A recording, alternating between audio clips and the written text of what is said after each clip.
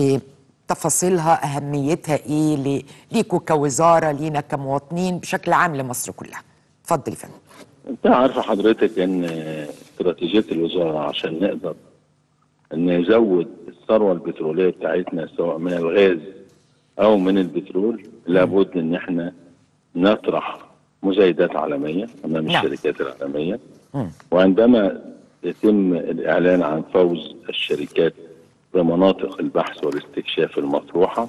أيوه بيتم بيتم آه، عقد اتفاقيات بترولية. عشان تبقى الاتفاقيه البتروليه سارية لابد من المهندس طارق الملا وزير البترول والثروه المعدنيه يرسل هذه الاتفاقيات إلى مجلس الوزراء. نعم. مجلس الوزراء بدوره بيبعتها لمجلس النواب في أيوة. من خلال لجنته من خلال الدرس على في القبة وفي القبة بعد كده بيطلع بيطلع بيها موافقة عشان السيد رئيس الجمهورية يصدر قرار يصدر قوانين بحيث إن وزير البترول بعد كده يوقع هذه الاتفاقيات مع نعم. الشركات الفائزة. دول 12 منطقة 12 سوري اتفاقية. 12 اتفاقية. نعم. آه، موجودة في مناطق مت- متعددة الصحراء الغربية. شرق وغرب البحر المتوسط وده مهم غرب البحر المتوسط منطقة لسه بكر. أيوه عايزة بقى هنا هنا نتكلم بقى كده ونوضح للناس بعد إذن حضرتك أستاذ حمدي ال 12 اتفاقية دول مش في مكان واحد. لا يا فندم. تمام. دول موجودين في الصحراء الغربية. أيوه. موجودين في شرق البحر المتوسط. تمام. موجودين موجودة في غرب البحر المتوسط. آه. موجودين في مناطق البحر الأحمر البحر الأحمر. ثلاث اتفاقيات جديدة أيوه فازت بها شركات عالمية بعد نعم. المساعدة العالمية اللي تم طرحها وبالتالي آه هذه المناطق إن شاء الله تبقى مناطق واعدة. مم. يتحقق فيها عدد من الاكتشافات. بهدف إن إحنا عايزين نزود الاحتياطي البترولي. في نفس الوقت عايزين نزود الإنتاج بتاعنا عشان نقدر نزود آه، إيراداتنا ونزود الدخل القومي لمصر ونأمن أهم في أهم في الجزئية دي نأمن الإمدادات البترولية سواء من الغاز أو من البترول للقطاعات الاقتصادية ولشعوب والشعب المصري نعم فطبعا دي- مهم جدا إن أيوة. حضرتك الاتفاقيات دي هي حجر الزاوية إمتى يبدأ تفعيل هذه الاتفاقيات عندما يصدر؟ القانون ويتم توقيع التوقيع عليها من قبل وزير البترول ومن قبل الشركات العالمية يتم تفعيلها فورا. فورا. وحاليا دلوقتي في الإعداد للتوقيع النهائي على هذه الاتفاقية. تمام. اكتشاف مهم الخير. جدا برضه. عايز أقول حاجة مهمة برضه. اتفضل.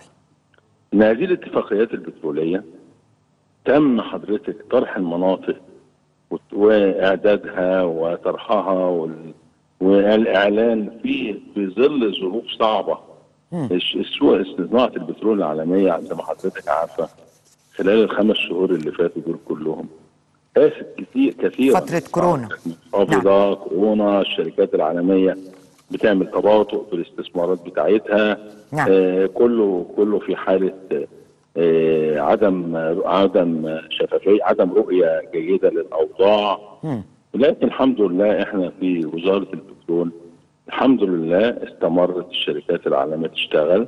آه الأنشطة بتاعتنا لم تتوقف. آه، رغم كل التحديات اللي أنا قلت لحضرتك نعم. عليها صحيح. ده بي... يعني كان بيعكس بيعكس حاجة مهمة جدا إن الناس شايفة مصر صح شايفين فيها استقرار اقتصادي شايفين أيوة. فيها إصلاحات اقتصادية الحكومة قامت بيها خلال السنوات الماضية ساهمت كثيرا في الحد من آثار وتحديات آه، كورونا شايفين إن في مصداقية من في وزارة البترول والدولة ورئيس أيوة. الجمهورية فبالتالي كل دي حضرتك ساهمت مساهمة إيجابية إن إحنا طبعا. ننجح في طبعا. توقيع الاتفاقيات هل ال 12 واستمرار. اتفاقية دول يا فندم تم الاتفاق خلاص مع الشركات العالمية طبعا طبعا نقدر نقول للناس- نقدر نقول للناس؟ شركات متنوعة في شركات مهمة جدا زي شركة شيفرون الأمريكية دي أول مرة تشتغل في مصر.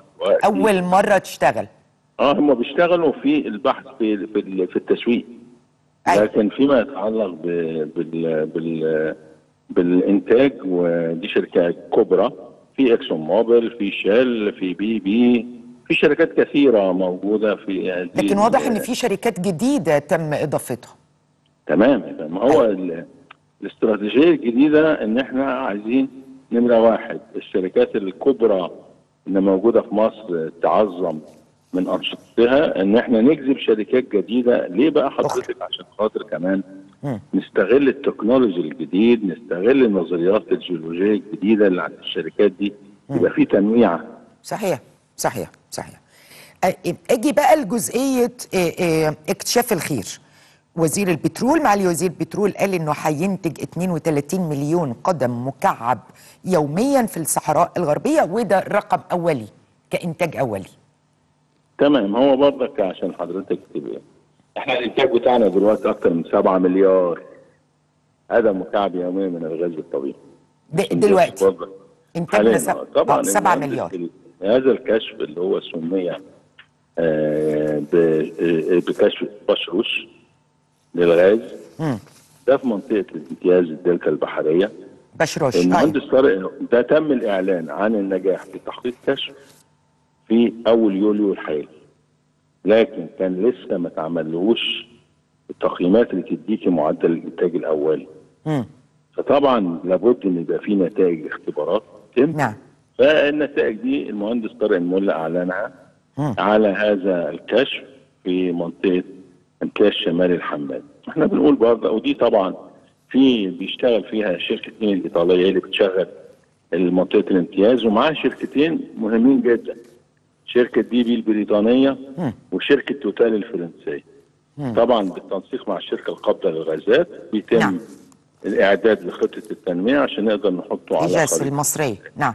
لكن طبعا إحنا بنقول إن دي بشرة خير إن أنت لما بتلاقي كميات من الغاز صحيح مش كبيرة وممكن قوي. يعني الشركة الشركات الأجنبية مقدرة إن مقدرة إن إحنا ممكن نصل إلى 100 مليون و800 برميل متكثفات لكن إحنا كوزارة البترول أيوة. ما بناخدش ما بناخدش بالتقديرات الممكنة.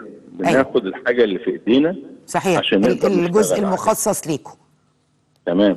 خلينا نوضح للناس ونقول الصافي اللي هتاخده وزارة البترول.